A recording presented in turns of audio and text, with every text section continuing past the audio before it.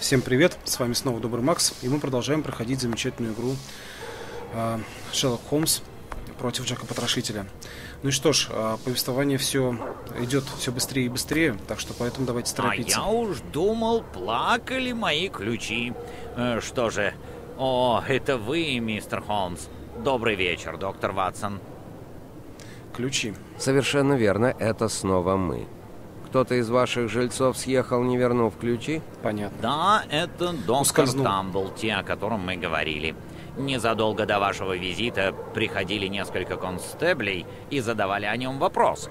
Едва они ушли, доктор выскочил из-за угла и влетел в свою комнату наверху.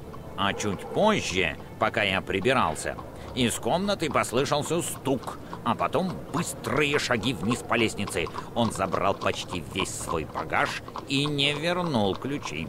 Вы можете подняться, если хотите, дверь еще открыта. Ну, разумеется, мы хотим. Давайте поднимемся и навестим э, жилище Тамблти. Но где же он живет? Ну, явно вот не здесь, потому что там, вы помните, у нас была газовая проблема. Значит, здесь. Осторожно, Ватсон. Не ходите здесь, пока я не закончу осмотр следов. Знаю, Холмс, знаю. Я понимаю ваши методы. Ну, еще бы. О, рулетка и лупа у вас с собой? А я думал, вы их забыли, Холмс. Я никогда не забываю главного, Ватсон. Так, ну что ж, давайте сначала осмотрим следы. Шаг широкий наступал на носок. Человек бежал. Шаг широкий наступ... Все понятно. Так, давайте попробуем измерить.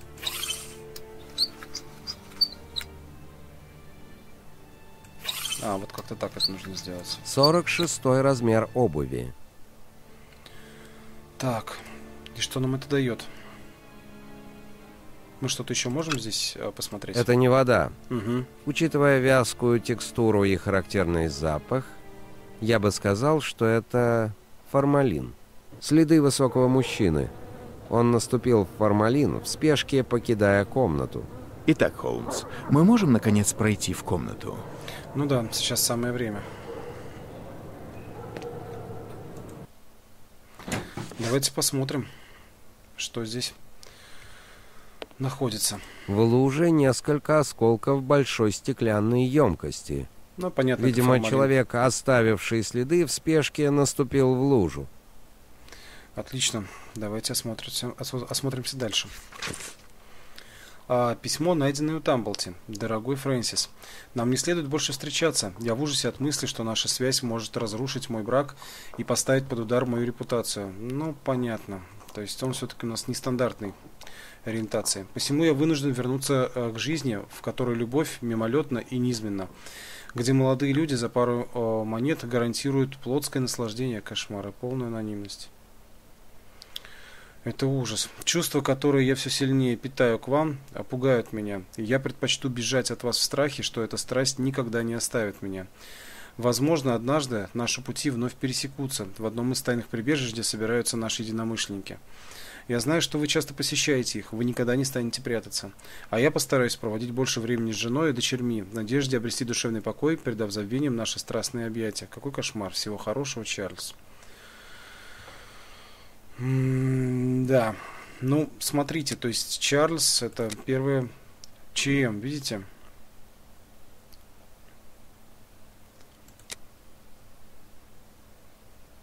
Так это все-таки Чарльз Мур или кто это? А, дальше. Дорогой Фрэнсис, я пишу вам эти строки, забыв о нашем общем прошлом, и только как друг. От наших общих знакомых я узнал о ваших неприятностях с законом. Прошу, будьте осторожнее, Англия совсем не Дикий Запад. Однако ее злачные места не менее опасны. Рано или поздно вы дорого поплатитесь за свою страсть к э, юным бестиям, либо в темном переулке, либо на скамье подсудимых. Человеку вашего положения и состояния не пристало шляться по притонам и таскать повсюду пистолет. Тем более не следует никого принуждать к любви силой, если только это не доставляет вам удовольствия. Отлично. Не следует никого при- принуждать к любви силы, если только это не доставляет вам удовольствия. Что, если доставляет удовольствие, значит можно? А, Определенные круги, в которые мы оба были вхожи, все еще открыты для вас. Воспользуйтесь возможностью провести время в компании здоровых, респектабельных людей, не присмыкаясь перед этими пар- а, парнями. И ради бога, или париями. И ради бога, избавьтесь от своего жуткого сундука. Кто знает, что люди, которым вы показываете его, думают и говорят об увиденном, бахвались перед своими дружками. Ваш бывший возлюбленный Генри. Отлично. Похоже, доктору Тамблти мужчины нравятся больше, чем женщины. Поэтому у доктора был пистолет, чтобы держать в узде молодых людей. Какой кошмар вообще. Это ужасные вещи мы расследуем с вами, друзья. Так, ну и вот, пожалуйста, какой-то здесь сундук есть. Давайте сначала еще одну записку почитаем. Еще одно письмо. Не понимаю, как вы оказались в таком положении. Ваши пламенные речи о войне должны были убедить многих. Я до сих пор помню, как вы пародировали его, пародировали его на том собрании. Вы встали в настолько характерную позу, и эти слова «Виксбург – ключ к победе», «Войне не будет конца, пока этот ключ не окажется у нас в кармане». Мы все аплодировали. Думаю, сам Линкольн аплодировал бы вам. Как редко нам удавалось посмеяться в те а, тяжелые дни. Столько смертей, а в довершении всего наш президент убит этим трусом. Уверен, что он присоединился к мученикам Геттисберга, погибшим за то, чтобы на следующий день ключ а, к войне очутился у нас в кармане. Вообще непонятно, что это. Если письмо было адресовано ему, то, видимо, доктор участвовал в гражданской войне в Америке. Виксбург. Ключ. Так-так, интересно. Да, интересно, но пока, друзья, мне не совсем понятно. Так, вот чемодан. Так, минуточку. Следы те же, что и у двери. Должно быть, это следы Сквиби. Он ударил Тамблти, а тот уронил одну из своих банок. А потом сбежал. Элементарно, Холмс. Превосходно, Ватсон. Так, а, что у нас здесь? Мгм, Я так чувствую, что сейчас мы будем разгадывать очередную загадку, связанную с сейфом. Но давайте попробуем. Судя по внушительным размерам, этот сундук служит в качестве платяного шкафа. Совершенно уникальные замки. Что думаете, Ватсон? Смотрите, Холмс, тут название битв гражданской войны в Соединенных Штатах. Так, ну, это понятно. Взгляните-ка, пять замков с шестизначным кодом. Это, видимо, даты. Холмс, Да? у меня такое впечатление, что указанные даты соответствуют сражениям. Но одной даты не хватает.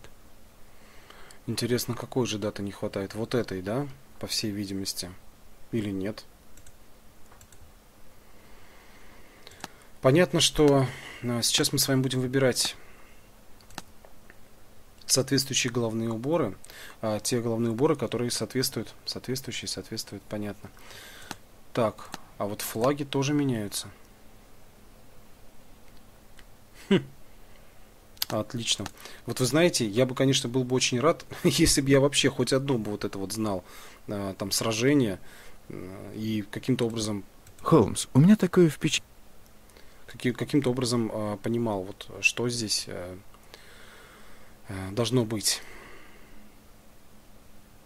Ну, допустим, Геттисберг, это должно быть Соединенные Штаты Америки, я так полагаю. И раз речь шла... А, подождите, так э, смотрите, как интересно. То есть здесь определенный набор флагов, и я здесь не вижу э, Соединенных Штатов на самом-то деле. А раз речь идет о Линкольне, значит какая-то шляпа должна быть вот такая. Я-то думал, вот такая. Да, друзья, эта загадка мне точно не по зубам. Я реально не знаю, о чем здесь идет речь. Форт Самтер, Анти, Антиетам, Ченселорсвилл, Геттисберг и Виксбург. Я вообще понятия не имею, что это такое. А смотрите, внизу все совпадает. То есть здание суда в, Апотам- в Апоматоксе. Флаг соответствующий, цилиндр соответствующий. 0904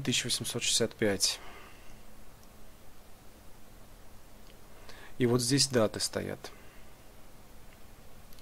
Ну давайте хотя бы посмотрим еще раз шляпы. А, ну вот это что-то такое совсем, по-моему, древнее. И вот даты 12, 19, 1771.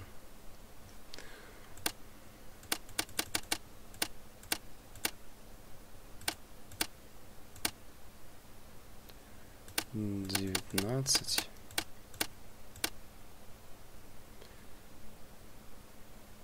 Так. Здесь просто 71, что ли? Форт Самтер. Хм. Да, это вообще совершенно потрясающе. Я понятия не имею, что это означает. Так, друзья, ну, единственным способом, то, что вот э, разгадать эту загадку, я так полагаю, это посмотреть, что же это за события, когда они были, потому что я вот, ну, как бы реально не знаю, что это. Неужели люди, которые играют, допустим, Шерлока Холмса, э, ну, как в игру, да, э, они могут вот э, наизусть вот это все знать? Не представляю. Ну да ладно, давайте, сейчас я попробую выйти, посмотрю где-нибудь, что же это за сражение, кто в них участвовал, и тогда уже какое-то решение можно будет принять. Так, ну что ж, продолжаем. А, достаточно немного времени мне потребовалось для того, чтобы найти вот эти все моменты. Значит, обратите внимание, что а, везде стоят соответствующие даты, которые означают битва, а, значит, битвы при определенных местах.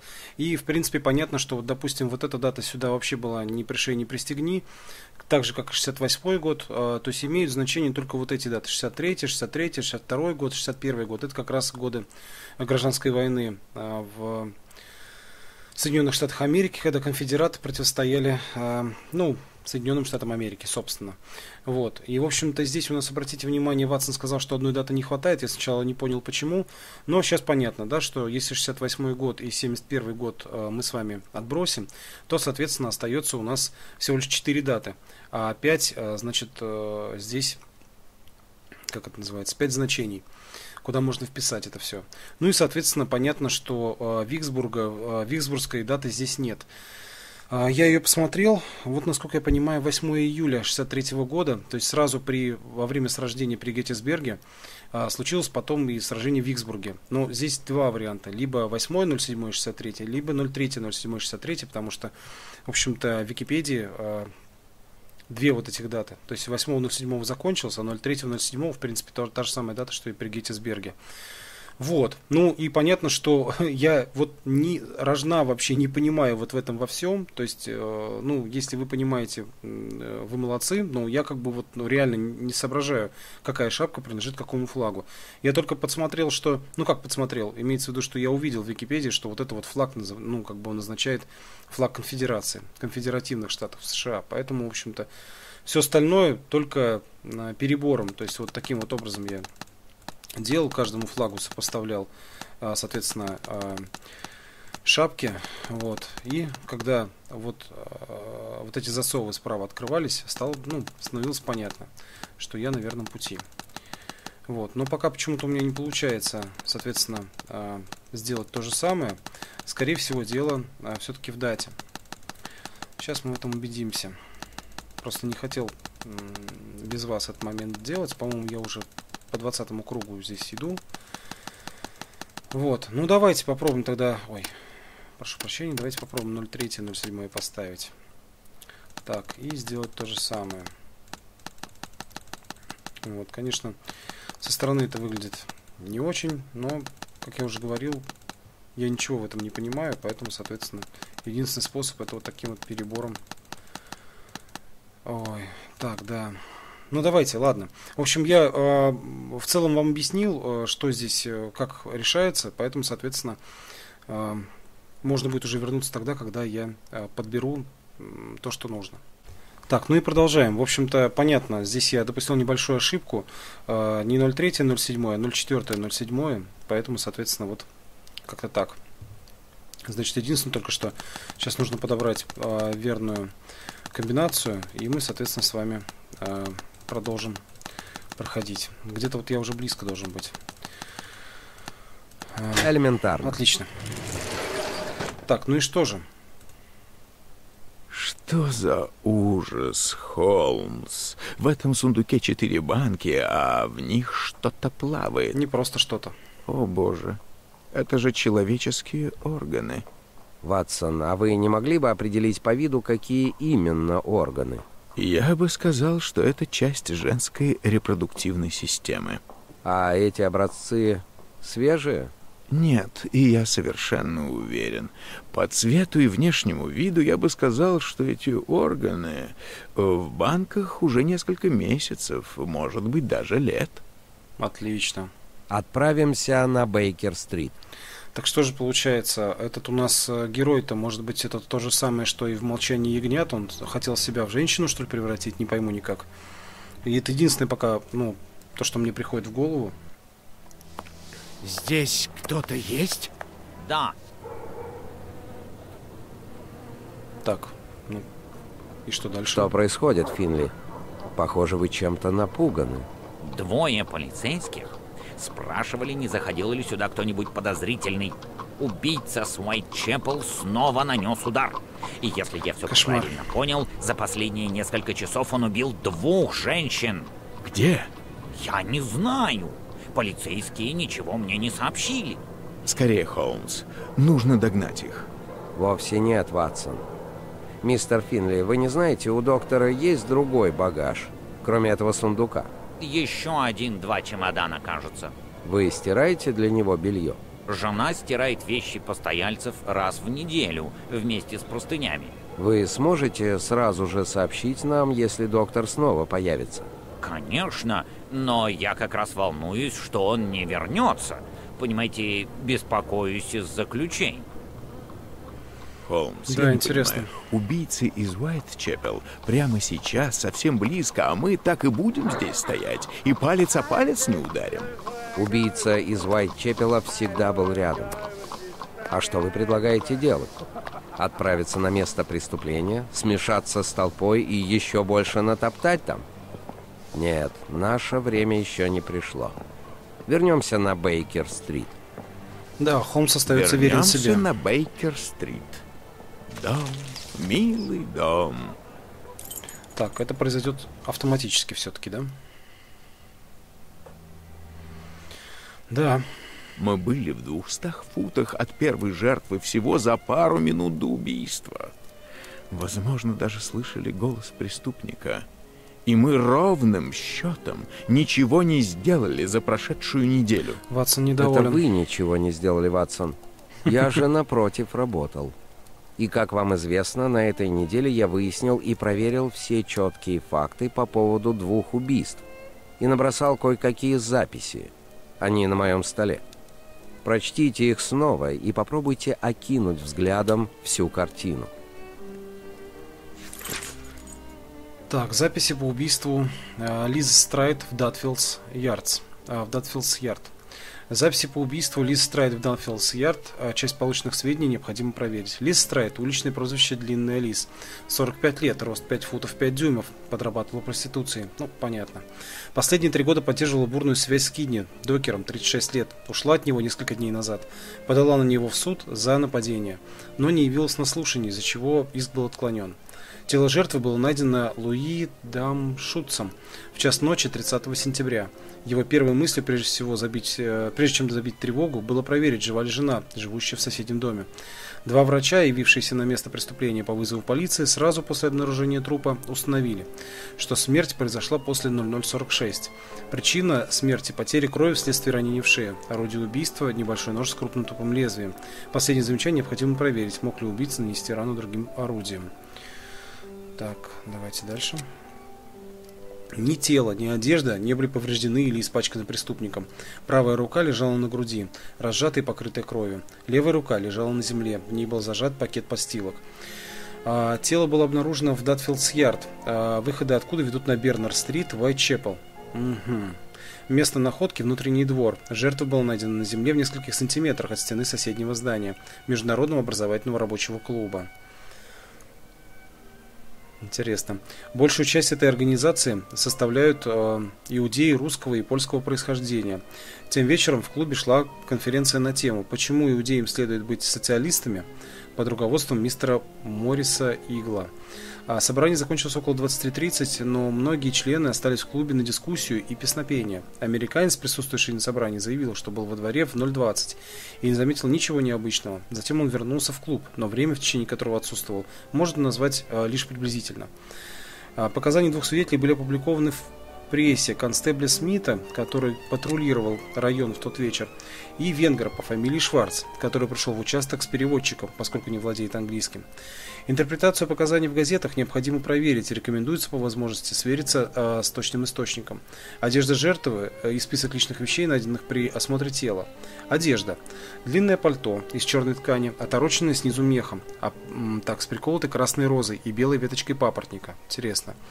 Черная юбка, черная креповая шляпка. На шее э, клетчатый платок, завязанный слева. Корсаж из темно-коричневого бархата. Две нижние юбки из легкой са, э, саржи. Не разбираюсь я в тканях. Белая сорочка, белые чулки, демисезонные ботинки, два носовых платка, на одном пятна фруктового сока. Наперсток, шерсть, намотанная на картонку. В кармане нижней юбки ключ ключ. Огрызок карандаша, 6 больших пуговиц и одна маленькая. А, расческа, кусок сломанной расчески. Металлическая ложка, крючок от платья, кисей лоскут, один-два клочка бумаги. Интересно. Так, записи по поводу Кэтрин Эддлс. А, Кэтрин Эддлс, 46 лет, рост 5 футов, подрабатывала проституцией. Ну, разумеется. В течение 7 лет имела регулярные отношения с Джоном Келли, не имеющим определенного места работы.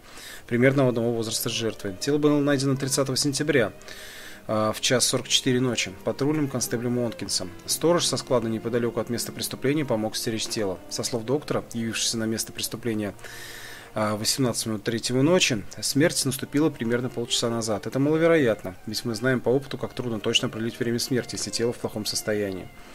Причина смерти – потери крови вследствие ранения в шею.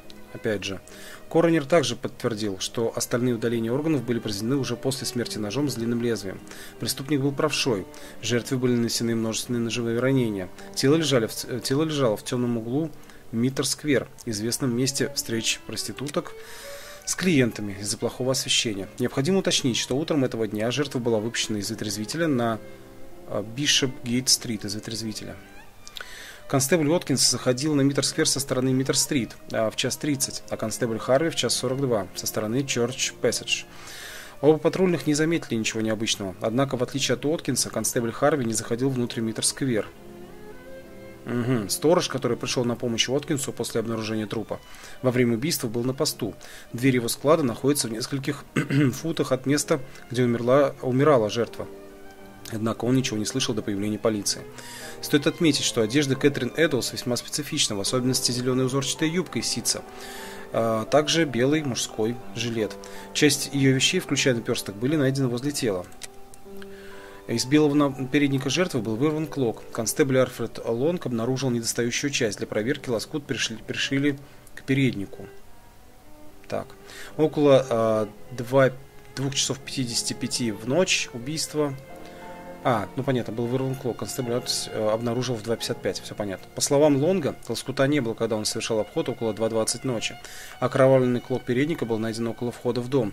108-119 Вентфорд Модел Двеллингс на Голстон-стрит. Язык сломаюсь, честно говоря. Справа от входа, непосредственно над лоскутом, обнаружена следующая надпись мелом.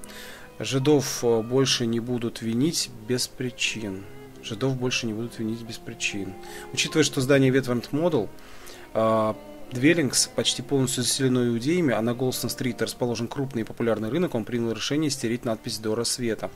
Личные вещи и одежда Кейт Эддлс. Одежда черная, а так, одежда. Черная соломенная шляпка, отделанная черным и зеленым бархатом и бусинками. А, на голове повязаны черные ленты, длинная драповая куртка, воротник и манжеты отделаны искусственным мехом. Карманы украшены искусственным мехом и шелковыми лентами. Крупные металлические пуговицы. Темно-зеленая ситцевая юбка а, с коричневой пуговицей на поясе. Юбка украшена узором из цветов. Астр и Лили. Белый мужской жилет, спереди пуговица в тон. Коричневый корсаж, воротник из черного бархата, спереди коричневая пуговица. Серая нижняя юбка над белым, на белом поясе. Старая зеленая юбка из шерсти из шерсти альпака, одета вместо белья.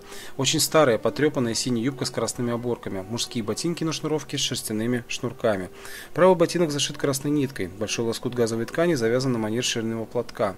А большой носовой платок. Большой белый платок из хлопка с орнаментом птичий глаз, белого и красного цвета по краю. Два кисета из неотбеленного хлопка а, на тесемках, один кисет из матрасной ткани в синюю полоску, вязаные чулки коричневого цвета, заштопанные белыми нитками, личные вещи, две маленькие синие сумки, две черных глиняных трубки, жестянка с чаем, жестянка с сахаром, пустой спичечный коробок из жести, 12 белых тряпок, кусок белой льняной материи, треугольный кусок синей белой ткани для рубашек, красная фланелевая материя с иголками и булавками, шесть кусков мыла, какой кошмар, зачем есть шесть кусков мыла, один частый гребень, один столовый нож с белой ручкой, одна железная ложка, один красный портсигар с металлическими вставками, пеньковая веревка, белый передник с заплатками, несколько пуговиц и наперсток, белая металлическая коробочка для горчицы с двумя а, с, так, залоговыми свидетельствами. Ага, залоговые свидетельства. Одно у нас а, на руках. Одно на имя Эмили Баррелл, White Row 52, от 31 августа на мужскую фланелевую рубашку. Другое на имя Джейн Келли, Дорсет 36, от 28 сентября на пару мужских ботинок. Оба адреса вымышлены. Печатная листовка, сломанные очки, красная варежка. Интересно, друзья, зачем нам вот такие подробности здесь? Понятно, что а, читать интересно, но смотреть вам наверняка неинтересно на то, как я читаю. Но вот а, такие вот детали, они характерны для Шерлока Холмса. Я уже сотню раз их прочел. Лучше скажите мне, что делать? Поставьте реальную задачу, потому что... Разыщите бойню, которая бы предоставила нам колоду мясника на час. И найдите вы говорили, какое животное с Свинья. точки зрения физиологии сходно с человеком. Э, свинья.